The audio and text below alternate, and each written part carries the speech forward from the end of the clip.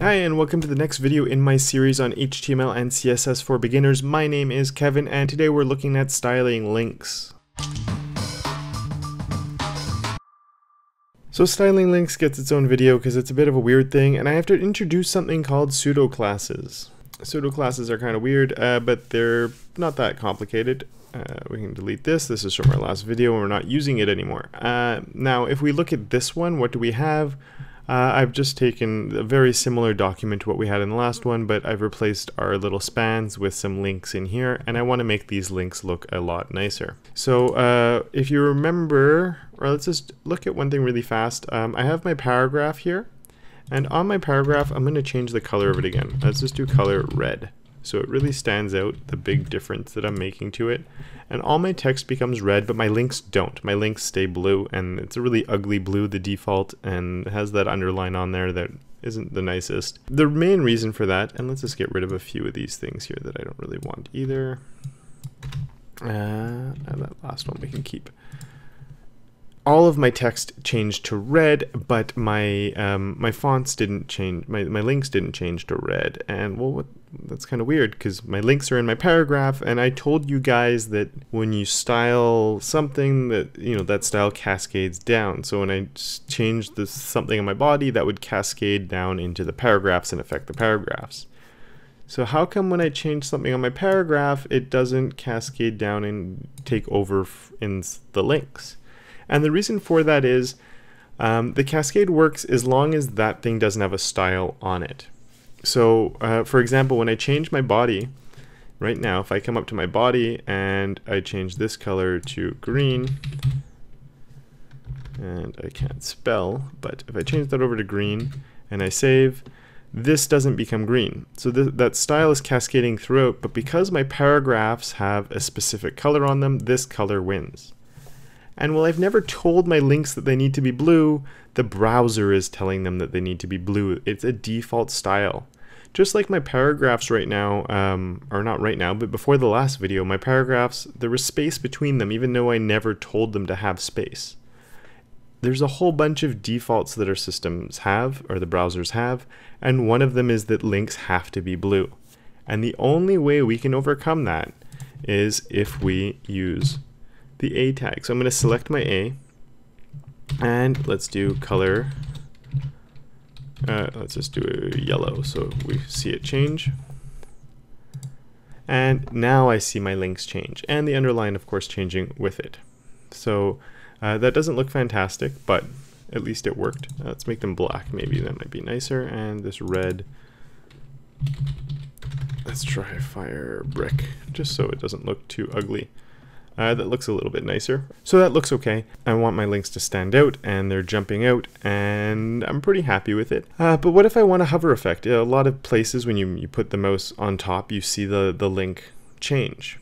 And this is where we have to get into something called pseudo classes. Don't want to make it too complicated, but um, a pseudo class, it's a selector that we can do that it's selecting the element in different states of being, if that makes sense. So uh, just let's actually look at it for a second.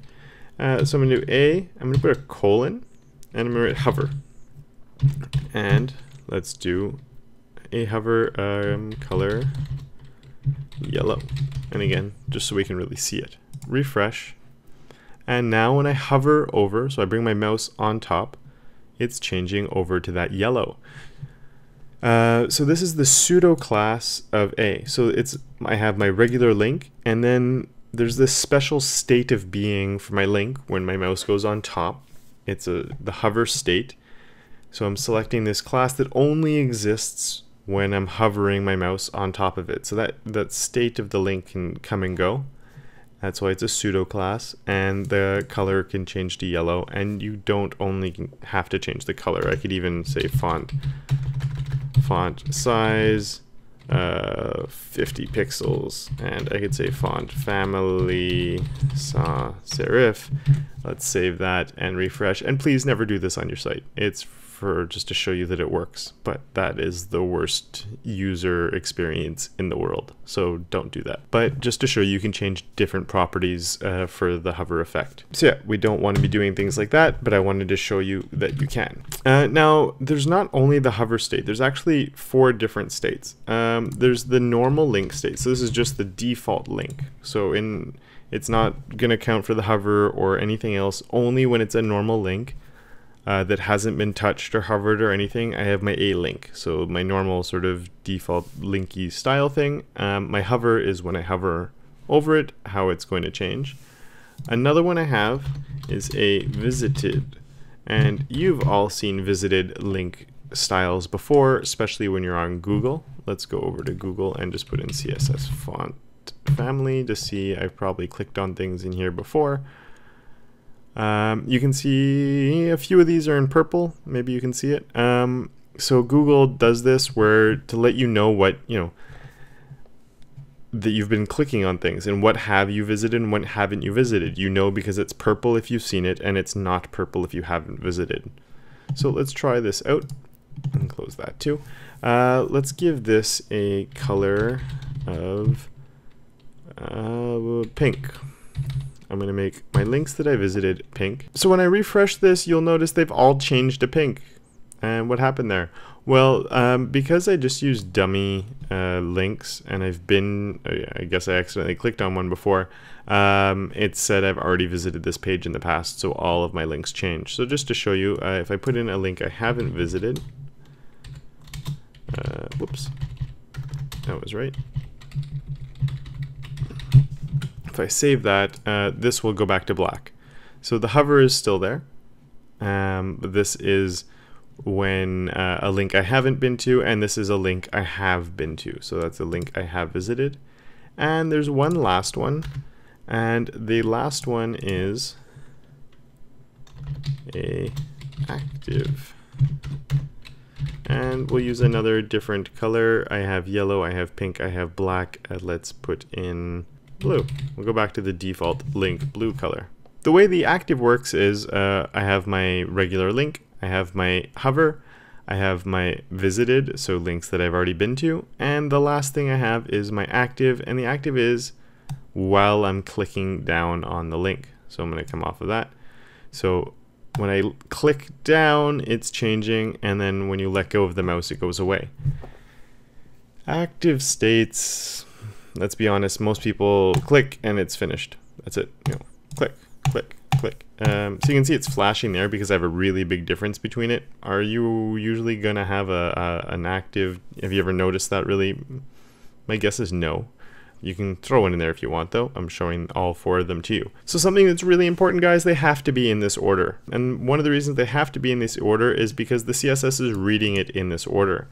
So it's going to read my regular link first and make it black and then it goes, oh, it's not just a link though, it's a visited link, so it's going to overwrite that black and make it pink. Let's just say uh, you decided to put your hover first. So my hover is here, and let's refresh my page, and whoa, why is my hover not working?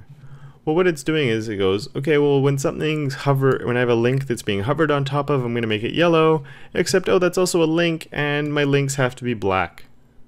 Or, in this case, my visited, which has to be pink. So whatever the case is, these are coming after my hover. So they're overwriting it because both of these links are both, you know, it's a hover link and, well, it's a link. And this one here is a link and it's a visited link. So it's doing hover and visited. Visited is second in my CSS, so visited wins. So it's just really important that this is the exact order you go in. The same thing with the active. If you do want an active, when I'm clicking down right now, Oh, whoops, let's refresh. When I'm clicking down right now, it's active, but I'm also hovering on top at the same time. My mouse is hovering on the link, it's on top of the link, and I'm clicking. So both of these two are, you know, they're both in play. So it's changing it to blue, but because I'm active, this one here, or because I'm also hovering, this one here is winning because it's second in my CSS. So it's really important that you put all four of these in this order if you're using them all. And if you're not using one, well, you can just, you know, leave it out and then it won't apply. Refresh and we can see my links are black. Um, you'll notice this has gone back to the default purple though, because I don't have a, a visited color anymore. So I could have the A link and my A visited color black and that makes them all black. And the other option I have is just to put A here. So my links, um, I'm not worrying about the pseudo states of them. I'm just saying all my links are black except my hover is going to overwrite that and become yellow. Uh, so this doesn't worry about the pseudo states of them or the pseudo classes. It's just covering all my bases, and then I can overwrite uh, any of the pseudo classes that I want um, with that. How can we make our links look a little nicer? A lot of people like getting rid of that uh, line on the bottom, so you can just come in and do a text decoration none and that will get rid of that line. So in the last video we looked, we have text decoration, we have uh, underline, overline, or the strike through. And if you have one that you want to get rid of, like in this case, you can just do a text decoration none and it will get rid of uh, your underline. And that's something that a lot of people like to do. Important though, make sure your links do stand out. You don't want your links just to fade into your site. Um, you need to make sure that people can see them. So I like having hover states on them and I like making sure that the color or something about them stands out enough so people realize that they can probably click on them. I usually don't do a, really big hover like that though. My hover will usually be something like, uh, I'm using black, so let's just do like a 555. Uh, 555 is like a little light gray. So there's a difference, but it's subtle. But it's enough that it, you know the the user will see a little flash of color. They'll see that it's interactive. I see the little hand icon. There's enough things going on there that I'm aware that I can click on it. Whereas if I made this Firebrick and I made this Firebrick.